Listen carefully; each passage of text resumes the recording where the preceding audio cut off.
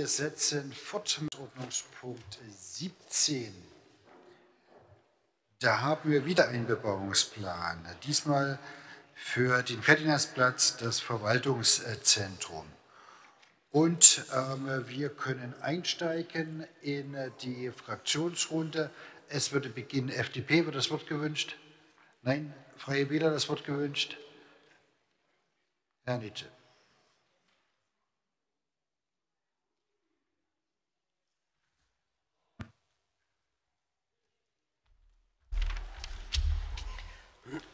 Herr Oberbürgermeister, meine sehr geehrten Damen und Herren Stadträte, liebe Gäste, Zuhörer, Dresdner, der Ferdinandplatz ist ein wichtiger Baustein für eine städtebauliche Aufwertung der Innenstadt. Genauso steht es auf der Homepage der Stadtverwaltung. Wir Freien Wähler halten die derzeitigen Planungen für ein Verwaltungsgebäude an dieser Stelle für hochproblematisch. Das liegt nicht nur an unserem Bauchgefühl, was wir schon im Winter hatten, was die Kosten betraf, ähm, die noch steigen werden. So denken wir, die versteckte Verschuldung, die mit einem eventuellen Bauvorhaben verbunden sein kann, diese Schattenverschuldung. Wir halten einfach es für sinnvoller, dass Mittel, die in das Verwaltungszentrum hereingesteckt werden könnten, genutzt werden, um am Bestand zu arbeiten, zum Beispiel am aktuellen stehenden Rathaus, wo 94 Millionen Bedarf an Investitionen sind. Wir wollen dort keinen Verwaltungspalast haben, sondern wir wollen Investitionen für Schulen, Radwege, Straßen und ÖPNV. Und der Bebauungsplan, so wie er jetzt aktuell vorliegt, verhindert ähm, eine Entwicklung am Ferdinandplatz, die man vielleicht auch mit einer Entwicklung wie am Neustädter Markt vergleichen kann. Beides sind Filetstücke in der Innenstadt. Beides sind 1A-Lagen. Beides sind ideale Quartiere für Wohnen, für Büro, für Gastronomie, für Kultur, für Grün, für sinnvolle Dinge, sinnvolle Nutzungen dieser innenstädtischen Lagen. Wir warten jetzt erstmal den Zwischenstand zum wettbewerblichen Dialog ab. Dann kann auch Herr Löser endlich die Debatte zu unserem Moratoriumsantrag hier führen, auf die er schon so lange wartet. Noch nicht. Ähm, Moment. Wir haben in Dresden viele Brachen gehabt. Viele Punkte, in denen es eine fragwürdige Stadtplanung zur DDR oder aus der DDR sozusagen gab. Ähm, wir haben viele Punkte, an denen die Stadt neu gestaltet worden ist, ähm, an denen Brachen bebaut wurden, wie zum Beispiel sinnvoll bebaut wurden, wie zum Beispiel am Neumarkt. Und wir denken, dass der Ferdinand-Baustein Ferdinand Platz ein wichtiger Baustein für eine städtebauliche Entwicklung ist. Und dieser wichtige Baustein, der sollte in unsere Innenstadt passen. Das ist eine Chance, die wir haben und diese Chance sollten wir nicht vertrauen und aus dem Grund werden wir dem, dieser Vorlage, so wie sie vorliegt, nicht zustimmen. Vielen Dank. Dann setzen wir fort mit Bündnis 90 Die Grünen, Herr Löser.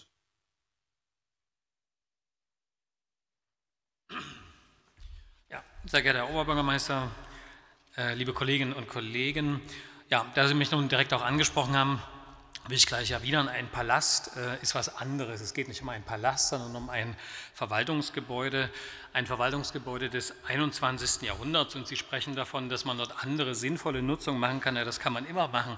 Aber auch das ist doch eine sinnvolle Nutzung, wenn wir ein Verwaltungszentrum an dieser Stelle bauen. Ich will noch mal erinnern, wir haben 2017 ich glaube, einen einhelligen Grundsatzbeschluss gefasst hier im Rat zu diesem Thema. Wir haben 2019 dann vor allen Dingen auf Anregung der Kollegen auch der Linken die Höhe ein bisschen gedrückt, sodass wir nun auch dem Hochhausleitbild folgen. Und wir haben jetzt natürlich infolge der Corona-Pandemie eine Frage nach der Finanzierung. Aber diese Frage ist gelöst worden, denn die Verwaltung hat aus unserer Sicht einen klugen Vorschlag gemacht, indem sie das auslagert, an die Stesat gibt und die Stadt dort mietet und damit eine Tilgung über 20 Jahre erreicht wird. Ich will noch mal sagen, dass das eben kein Palast ist, sondern worum es da eigentlich geht. Es geht um 1300 Mitarbeiterinnen und Mitarbeiter, um vier Ämter, die dort zusammengelegt werden sollen.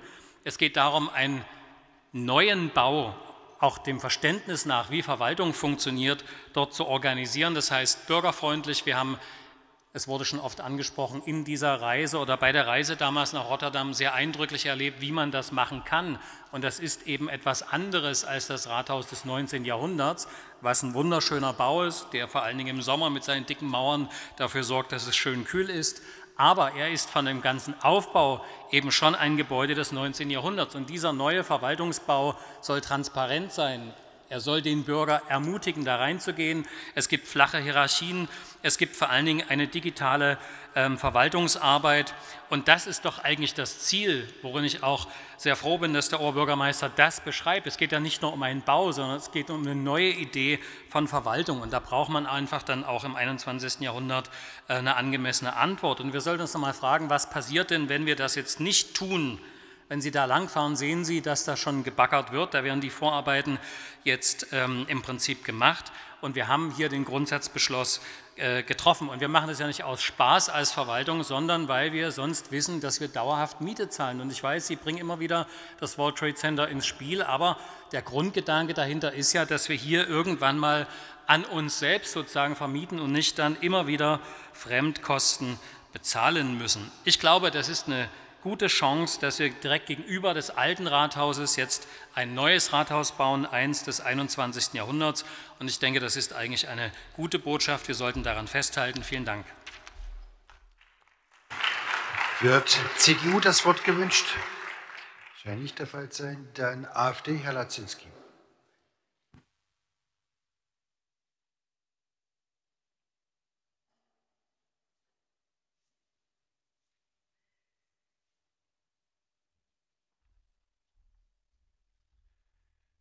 Sehr geehrter Oberbürgermeister, sehr geehrte Stadträte, liebe Zuschauer.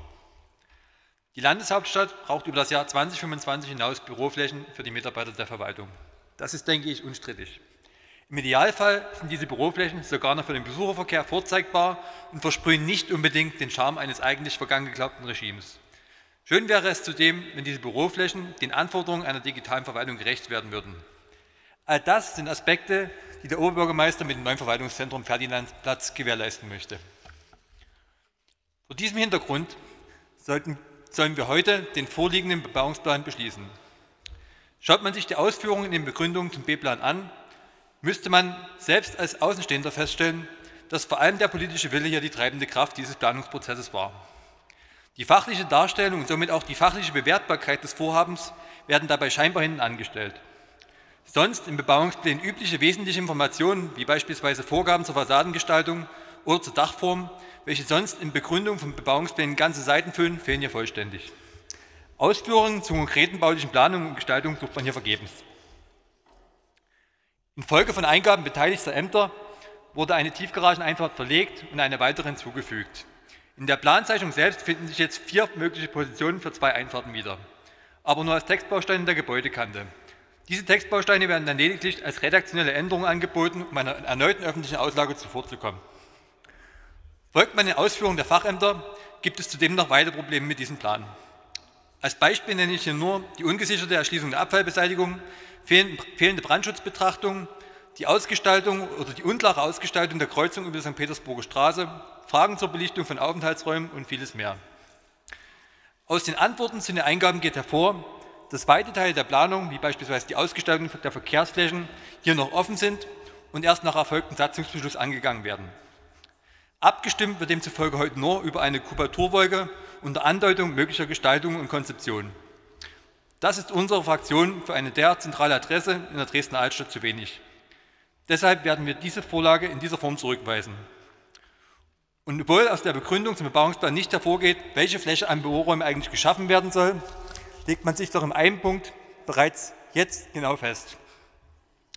Die Gebäude sollen Großraumbüros als schöne neue Arbeitswelten etabliert werden. Diese Art von Bürokonzeption stammt aus den frühen 2000er Jahren, ist also nicht mehr ganz so neu. Wenn wir unsere Lehren aus der Corona-Zeit hinsichtlich Arbeitsorganisation ziehen wollen, sollten wir zumindest zu der Erkenntnis kommen, dass Großraumbüros keines, keinesfalls die richtige Antwort auf globale Pandemien sind. Die schöne neue Arbeitswelt des Jahres 2020 und vermutlich auch der Folgejahre nennt sich Vereinzelung und Homeoffice. Darauf sollte man als Stadt arbeitsorganisatorische Antworten finden. Abschließend jedoch auch noch etwas Positives. Offensichtlich ist es möglich, dass vom Aufstellungsbeschluss bis zum Satzungsbeschluss bei der Erstellung eines vermutlich mehrheitsfähigen B-Plans trotz Weihnachtsfeiertage und Corona-Zeit lediglich fünf Monate vergangen sind. Ich freue mich, dass man hier offensichtlich die Möglichkeit gefunden hat, selbst bei einem derart großen Projekt unter Beteiligung der Öffentlichkeit die verwaltungsinternen Abläufe so zu beschleunigen. Das setzt natürlich neue Maßstäbe für die Zukunft und könnte dabei helfen, unsere Stadt bei Investoren im Beruf, bei Investoren im Beruf gerade Stadt etwas attraktiver zu machen. Vielen Dank. Vielen Dank für das Lob für die Verwaltung, Herr Lazinski. Machen wir weiter mit Fraktion Die Linke, Herr Würz.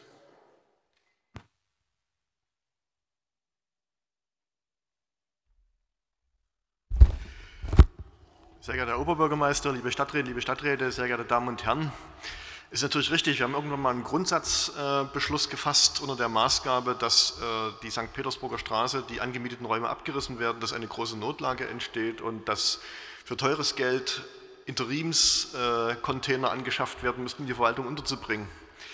Inzwischen sehen wir ein bisschen weiter und wir müssen erstmal konstatieren, dass der Architekturwettbewerb, der hier durchgeführt worden ist, wo einer derjenigen ist, die am meisten gescheitert sind. Er hat uns ein äh, Projekt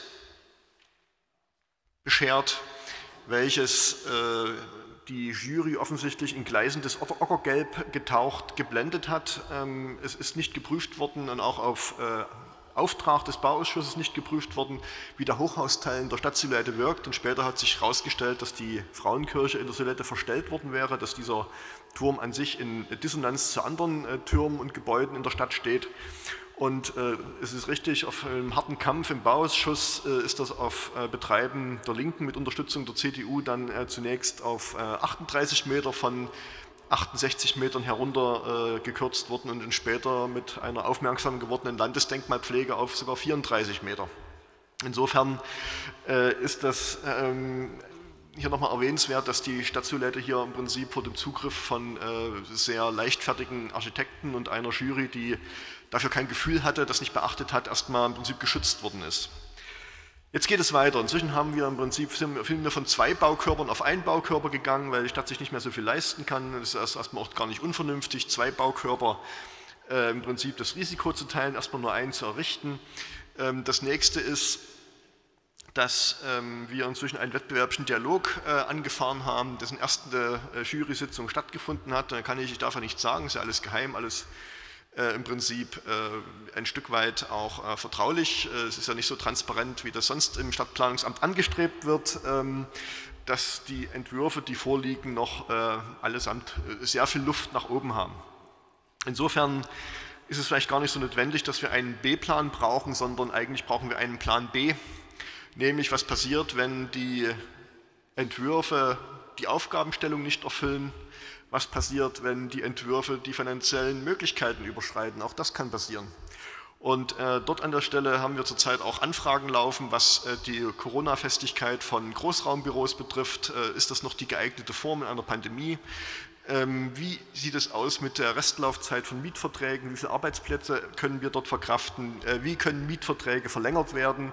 Und da werden wir dann unser weiteres Vorgehen auch, ähm, was, den wettbewerblichen Dialog betrifft, äh, festlegen und hier ergebnisoffen vorgehen. Im Fazit zu diesem Bebauungsplan, es ist schon viel gesagt worden, äh, auch Abstandsflächen sind nicht eingehalten. Da stehen dann sehr hohe Bauteile sehr dicht zusammen über die Ferdinandstraße. Ob diese langen Fassadenteile am Ende ein Stück weit äh, gefällig sein werden oder ob man doch lieber etwas feiner und detaillierter ausgeformtes genommen hätte. Wir haben Fassadenlängen von teilweise 120 Metern. Auch das möchte in der Stadt verkraftet werden. Ähm, das ist äh, fraglich. Und insofern haben wir uns entschlossen, da dieses ganze Schiff doch immer mehr an Schlagseite äh, zu geraten droht, äh, möchten wir als linke Fraktion nicht in seinen Sog geraten und haben uns entschlossen, uns zu diesem Bebauungsplan zu enthalten. Ich denke, er gerade auch aufgrund der Eile, die hier vonnöten war oder die hier gemacht worden ist, der zeitliche Druck, der aufgebaut worden ist, dass er nicht die Qualitäten erfüllt, die der Architekturwettbewerb uns äh, vorgemacht hat, äh, sondern dass im Prinzip hier an der Stelle mehr Überlegungen notwendig wären, um wirklich ein äh, attraktives Verwaltungszentrum zu bauen. Wir denken, es wird am Ende ein Zweckbau werden, der unter Umständen seinen Zweck erfüllt. Die Wirtschaftlichkeitsberechnungen, die uns damals einen Vorteil, einen ganz geringen Vorteil des Selberbauens gegenüber dem Anmieten vorgemacht hat, die sind durch die Preissteigerungen, die jetzt schon in diesem Projekt bekannt sind, eigentlich überholt und Makulatur. Sie müssten eigentlich wiederholt werden. Es kommt noch dazu, dass in diesen Wirtschaftlichkeitsberechnungen auch keine äh, Sanierungsrücklage gebildet war, die natürlich beim steigenden Mietpreis auch nicht fällig wird. Also dort ist dann der Vermieter zuständig, äh, für, die, für den Erhalt der Immobilie zu sorgen. Und ich brauche dann nicht im Prinzip nach ist ja auch auf einen sehr langen Zeitraum damals äh, kalkuliert worden, brauche ich dann nicht Geld zurücklegen, um dann unter Umständen ein Gebäude auch mal äh, Grund zu sanieren. Insofern werden wir uns zu diesem B-Plan enthalten und werden den ganzen Vorgang weiter sehr kritisch begleiten. Ich danke Ihnen. SPD das Wort gewünscht. Herr Kaniewski.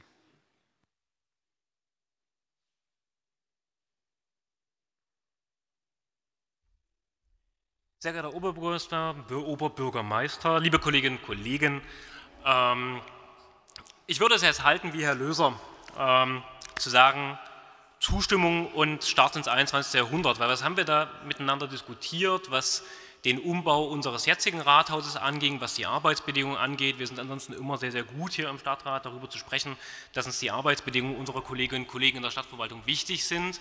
Und genau diesen Schritt machen wir auch mit dem neuen Verwaltungszentrum. Wenn wir gute Arbeit fordern, dann müssen wir auch Räumlichkeiten haben, die gute Arbeit eben auch ermöglichen im 21. Jahrhundert. Ich will nur auf zwei, drei Sachen eingehen, weil im Zweifelsfalle kann man über Dinge diskutieren, wenn man miteinander spricht. Herr Laczynski, ich würde Ihnen sehr empfehlen, einfach mit Ihrem Kollegen Herrn Gilke zu sprechen, weil der sitzt in der Jury. Das heißt, alle Fragen, die Sie jetzt gerade eben zu Gebäude hatten, zur Fassadengestaltung, kann er Ihnen sicherlich einen Einblick geben, denn er ist Teil der Jury-Sitzung. An die Freien Wähler möchte ich nur appellieren, wenn Sie sich nicht nur auf Ihr Bauchgefühl verlassen wollen, dann müssen Sie vielleicht auch zur Sitzung der Jury einfach mal erscheinen, um sich damit auseinanderzusetzen, was da passiert. Die anderen Stadträtinnen und Stadträte schaffen das auch. Ähm, das wäre auch sehr in Ordnung. Insofern, ich freue mich über Zustimmung an dem Punkt. Wir brauchen das neue Verwaltungszentrum. Das wird ein guter Bau werden. Ähm, wir brauchen das einfach auch um die Arbeitsbedingungen für die Stadt eben besser zu machen. Und wenn wir ein guter Arbeitgeber sein wollen, brauchen wir auch das neue Verwaltungszentrum. Und deswegen jetzt feuerfrei, damit demnächst die Bagger rollen können. Vielen Dank. So, damit wäre die Fraktionsrunde durch. Gibt es weitere Wortmeldungen? Erst Herr Nitsche, dann Herr Gilke. Ich würde es kurz machen. Während Sie gesessen haben, habe ich gestanden vor meinen Schülern. Jetzt war Herr Gilke, dann Herr Zastrow.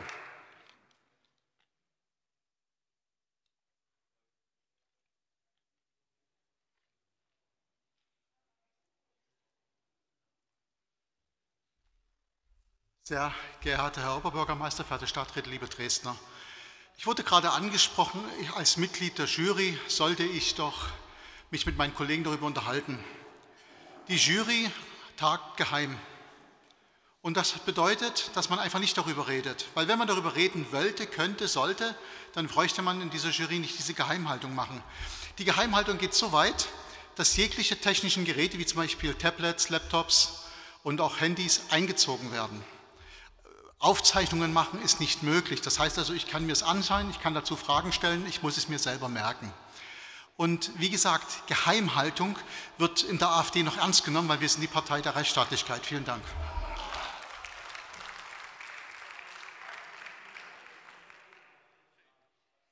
Herr Zastro.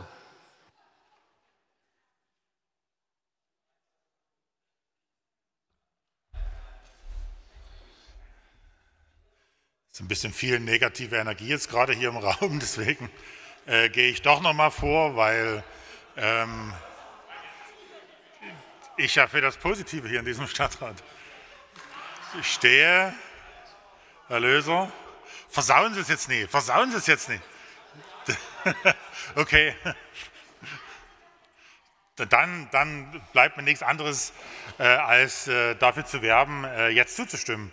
Äh, denn äh, ich glaube schon, dass das ein sehr wichtiges Projekt ist für unsere Stadt. Die Lage ist schwierig, gar keine Frage. Äh, Corona zwingt an vielen Punkten zum Umdenken, aber wir haben uns eigentlich, glaube ich, auch mal darauf verständigt, dass man jetzt nicht alles, was man vor ein paar Monaten auf den Weg gebracht hat, in Frage stellt. Was wäre das am Ende für ein Zeichen, äh, wenn man jetzt anfängt, an allem, was man vor einem halben Jahr noch für gut findet, zu zweifeln? Ähm, wir brauchen auch ähm, ja, Zeichen der Hoffnung, Zeichen des Anpackens, Zeichen, ähm, wo wir uns als Stadt auf den Weg machen. Das finden wir genau mit dem Verwaltungszentrum genau richtig. Die Arbeitsbedingungen für unsere Verwaltung sind nicht gut. Ich glaube, das äh, weiß jeder. Auch die haben vernünftige Arbeitsbedingungen verdient. Ich wünsche mir aber auch das, was Kollege Löser gesagt hat, nämlich, dass man dort eben nicht nur, und was auch der Oberbürgermeister im Übrigen will, nicht bloß einen profanen Verwaltungsbau hinsetzt, sondern dort auch einen städtebaulichen Akzent setzt. Das muss von herausragender Qualität sein, so ein technisches Rathaus zu bauen. Das macht man nicht allzu oft. Und ich habe da die große Hoffnung, dass wir an dieser Stelle ein Stück anspruchsvollste, moderne Architektur, die Sprache des 21. Jahrhunderts umsetzen können. Ich persönlich hätte mir den Turm dort vorstellen können. Ich wäre nie auf die Idee gekommen, auf den Bismarckturm zu krabbeln, ist übrigens im Moment geschlossen, ähm, und zu gucken. Und genau von dieser Einstelle sieht man die Frauenkirche nie. Also das ist war sehr kreativ, den einzigen Punkt in Dresden zu finden, wo die Frauenkirche verdeckt werden kann. Ich hätte mir da mehr Mut gewünscht, aber es ist nun mal so. Entscheidung ist, es ist ein Kompromiss, wie so oft. Und wir tragen den mit, aber wir sollten es auf den Weg machen. Alles Gute für das Verwaltungszentrum. Gibt es weitere Wortmeldungen? Herr Dr. Brauns.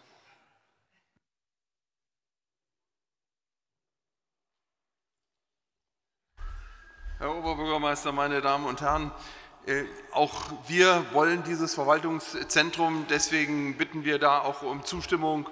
Und ich möchte Herrn Nietzsche sagen, wir brauchen das neue Verwaltungszentrum allein schon deswegen, und das ist möglicherweise ein Fehler in Ihrer Betrachtungsweise, und zwar so schnell wie möglich, gerade weil wir unser altes neues Rathaus grundhaft sanieren müssen. Dann muss nämlich von der Verwaltung erstmal dort eingezogen werden, damit wir sanieren können. Wenn wir das Verwaltungszentrum nicht bauen, geht das alles gar nicht. Also die ganzen Kosten, die damit verstehen, haben Sie in Ihrer ganzen Betrachtung gar nicht drin. Und äh, deswegen, meine Damen und Herren, das ist auch genau der richtige Fleck, dort ein Verwaltungszentrum äh, zu bauen. Da kann ich mich nur an das anschließen, was Herr Zastro gerade gesagt hat. Und ich möchte mich auch ausdrücklich da anschließen, dass eins nicht passieren darf, dass es eine Fassade quadratisch praktisch gut werden darf, sondern das muss ein Hingucker werden, überhaupt keine Frage. Also das sind wir uns schuldig. Und ob der Turm nun äh, schön gewesen wäre, wenn man ihn vom, wenn man vom Lingner Schloss ähm, auf die Altstadt runtersieht, ähm, dann hätte dieser ähm, Turm die Frauenkirche und keinen anderen Turm in irgendeiner Weise verdeckt. Äh, sondern ergänzt. Ähm, aber das ist jetzt so, wie es ist. Ähm, wir haben uns auch entschlossen, äh, diese, äh, uns etwas da in der Höhe zu zügeln und deswegen ist es so, wie es jetzt ist. Und man muss einfach, Herr Wirz, man muss anfangen. Man muss die Rahmenbedingungen jetzt setzen und deswegen sollten wir es beschließen und alles andere muss man in dem Wettbewerb, in dem ganzen Verfahren, was wir jetzt vor uns haben, machen und da sollten wir keine Zeit verlieren und deswegen bitte Zustimmung zu dieser Vorlage. Vielen Dank.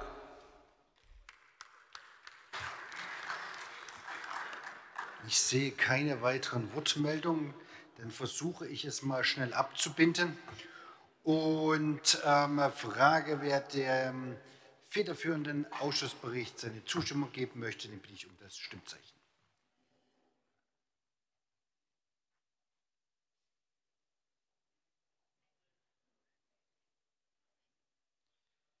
Gegenprobe.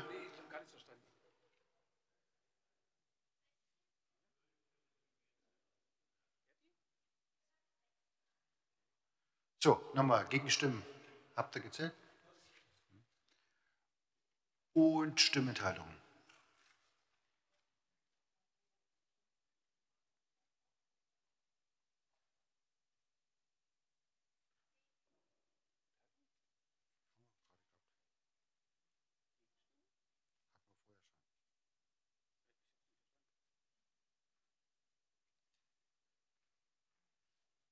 Können nochmal die Gegenstimmen für ihn hier wiederholt werden? Oder haben Sie das noch im Kopf?